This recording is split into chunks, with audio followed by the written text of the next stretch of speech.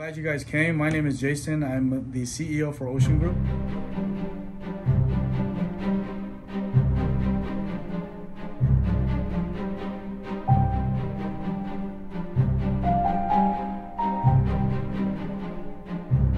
We're headquartered out in Los Angeles, and then we have branches out in Las Vegas, San Diego, Dallas. We just started our Utah Salt Lake City branch, and then we're going to be starting a Arizona location within 2022 and 2023. Okay.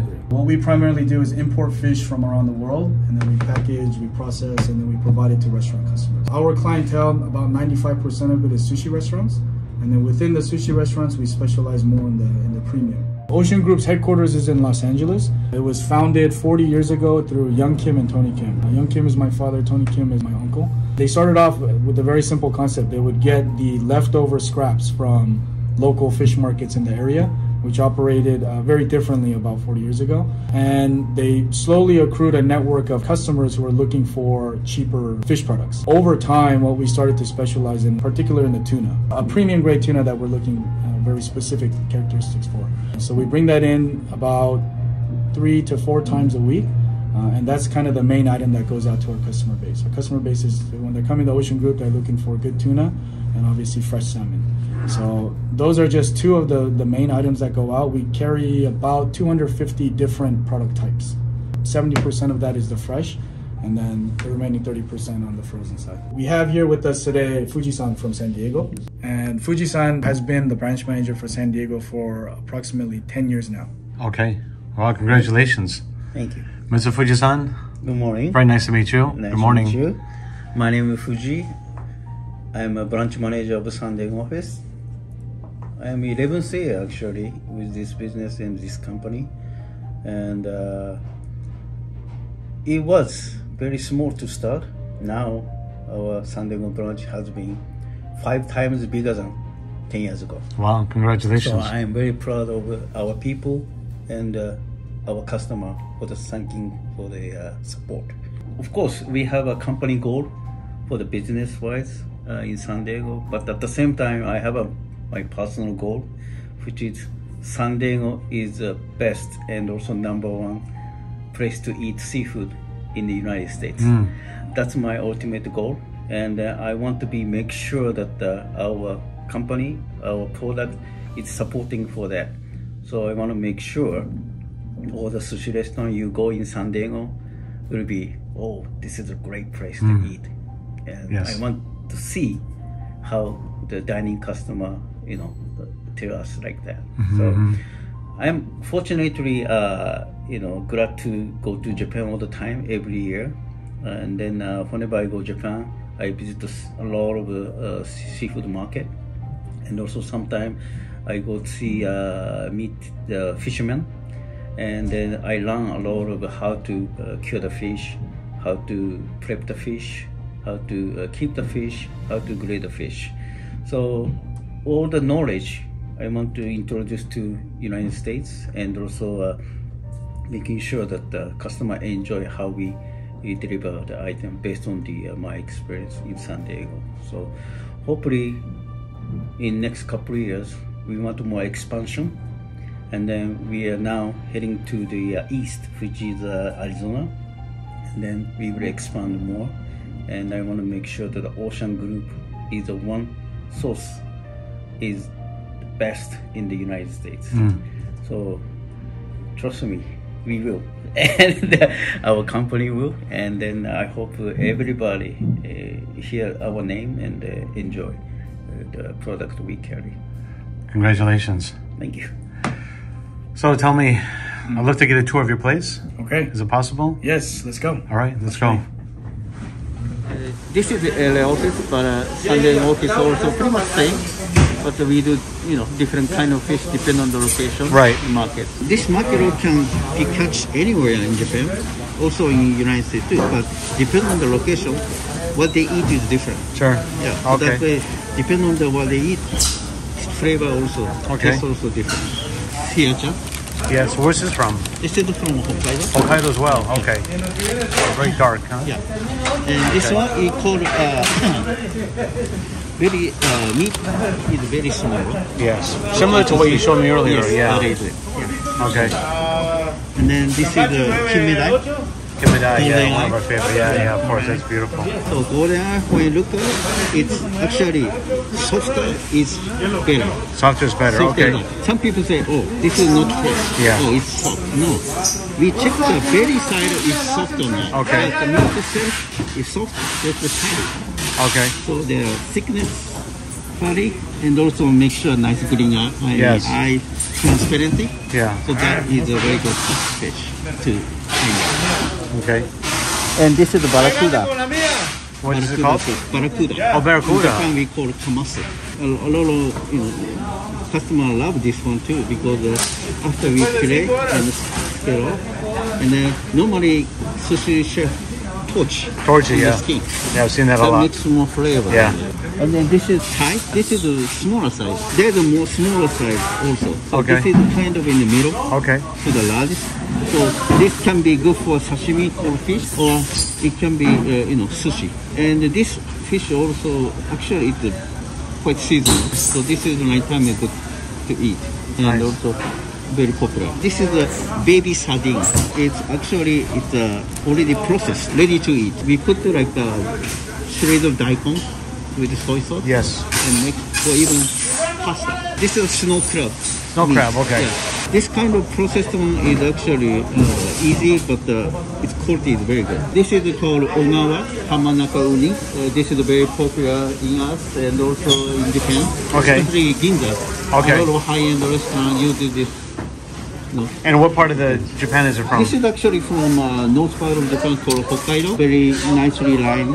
Okay. And, uh, very And the color too. Yeah. Yeah, yeah. Very good. Our abalone only comes from California, and there's many rules. Abalone is kind of one of those restricted species where it requires a certain like you can only bring in a certain species. So you know we can bring it in from Mexico only because they started using the the hatchlings Okay. of the California species, and then they started uh, they started you know farming these. So this one specifically is from Northern California, and then the difference between like let's say this one in Mexico, Mexico. Um, Abalone is the thickness of the shell. In terms of the taste of the product, it's it's negligible. We wouldn't be able to tell the difference. The ones that really love abalone will. We have a very special relationship with uh, with something called Jeju Suhyup in Korea. This is one of the products they bring. This is called the starry flounder. Obviously, the way that this is prepared is different between the Korean cuisine and Japanese. The Okay. Koreans like to eat it straight out of the water. They'll have tanks like this. They'll pull it out and they'll bleed it right there, and then you eat it. Some of our Japanese customers will ask us to bleed it out, ikejime, and then hold it for a couple days under a certain temperature, Sure. so that the amino acids come out in the taste. This is the Jeju olive flounder. And kind of this color right here is, is, is the one that everyone is, you know, like what it's known for. The spotted, you know, the olive, kind of olive color. Restaurants are looking for more on the 4 to 4.5. And then on the Korean sashimi you know, side, they're looking for like a 5 pound. Like, so a lot of these guys are a little bit small. These fly in directly from Jeju-do, Korea. These are all farm raised. Okay. Everything here is sashimi grade. Sashimi grade. So Oh, wow. everything that we sell on the fresh side, uh, there are a couple fish uh, that are not sashimi grade, but they're very specific. Everything else is sashimi. So this is our spot prawn or amaebi, and this this comes in from the Santa Barbara area. We usually look to aim to bring about two to three hundred pounds a day, but in this last season, amaebi was extremely short. So the reasons that they're saying is because there's an issue with the seaweed up in kind of like the Santa Barbara coastline, which is causing the ecosystem, I guess, to kind of be impacted. When we pick the amaebi, we're looking for almost like a gray, it looks like a grayish color like towards the head, almost like a, a very light purple, if I you see. will. I don't know if you can kind of tell from the light over here, but this is this is a good one. Obviously looking for movement, and so this this guy's moving around. He's good in the water. You know, they're gonna do their little shrimp, their little kick that they do, Yeah, yeah, like yeah, sure. right? Best Atlantic salmon Right? in the world. Absolutely. Yeah. How long you guys been carrying it for? So Bakkafrost and Ocean Group have been doing business together for about 10 years. Wow, long time. So Okay. A little bit over 10 years. Obviously, you know, since the beginning, they've, they've separated themselves because of the quality. And their quality comes from their, their handling procedure, as, you've seen when you Right, right. So we're bringing in, this is our main item when it comes to salmon. A majority of the customers are looking, especially on the sashimi side, Yes. are looking for Bakkafrost quality. Um, specific on the sushi side. On the Right. poke, poke side, the, the, the product is a little bit expensive. Yeah, sure. So, and you can tell the difference. So this is an example of the Canadian salmon. Oh, wow. Look at that color difference. Huh? Yeah. So this is obviously the backside of it. When he puts it together here, you'll see the you'll see the front. But the color is, is very very different. Right. So customers can tell right away. Yeah, one, one of many. This is one of. We don't have enough space. How many cases are you bringing in Bakkafrost? Uh, six containers a week. Six containers a week. So six times 161. Wow. that is. But- Quite a bit. Yeah, it's it's a it's a big amount, and then on top of that, the the upkeep, the maintenance. That's the on the on the product. As soon as we get it, we have to poke holes, re-ice. We have to check the quality of the fish every day. And then are you are these mostly whole? So everything we bring in is whole. Is whole, right? Okay, yeah. Just okay. like you know out of the factory. Yeah. When they got Okay. it, they pull it out, put in the box, and then that's how we receive it. Nice. I'm excited to see their eight-hour fish though. You know, Okay. what they're doing with their their plane. We either have it wrapped in poly bag because the customer prefers it in this kind of bag, or we have our guys wrap it like this, and that's for customers that typically want to store their salmon.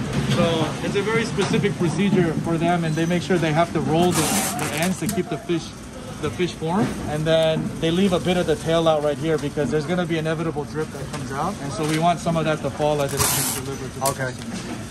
So everything, especially what, what I wanted to explain over there, the way he wraps the fish and the way Young Kim, like every single procedure, like if you walk in here and try to do the, you know, the, the packing of the tuna, you're gonna get yelled at every five to ten seconds because they have a very specific way of doing things. Even the way that, you know, the way the head goes on the table, Right. Um, or the sticker and where they place all the stickers. And even for Young Kim, like he pats the box, he believes that him patting the box is like him sending it off in, in the right way. A lot of the walking customers appreciate the fact that Young Kim, the owner, is, is here every single day. Right. And he's here even on Sundays. So Wow. I mean, he's literally an everyday kind of guy. He's here by about 2:33, and then he does the tuna room, and th- this is kind of like his Okay. uh, his peaceful Oh, nice. peaceful zone. His uh, So yeah, his sanctuary. yeah. What do you think? How many fish do you fillet every single day? Oh, these guys? Yeah. They're filleting about in a given day about four to five hundred cases. Wow. One, two, three, four, about six fillet guns. Wow. So that's roughly about twelve hundred fish. Wow.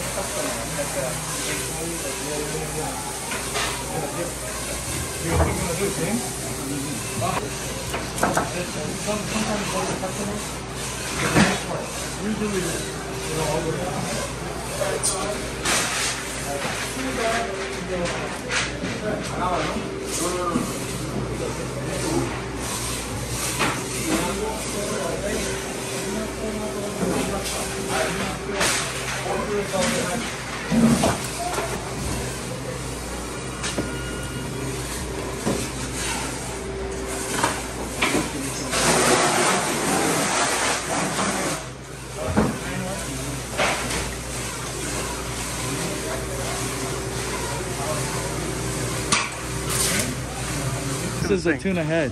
Oh, okay. So customers, especially the walk-in customers, will come in and grab one. Okay. Yeah, it's you know th- this is usually gets tossed unless a customer. Do you charge this? No, like when they take it, then we don't because we Okay. don't we don't. Uh, There's a lot of meat sell too, isn't there? There I mean- is. There's a ton. You know, Yeah, so like where everyone that. is looking is like definitely like on that cheek, the cheek meat. Right, the cheek meat. Yeah. There's so many parts of tuna that you can eat. Oh, feel it?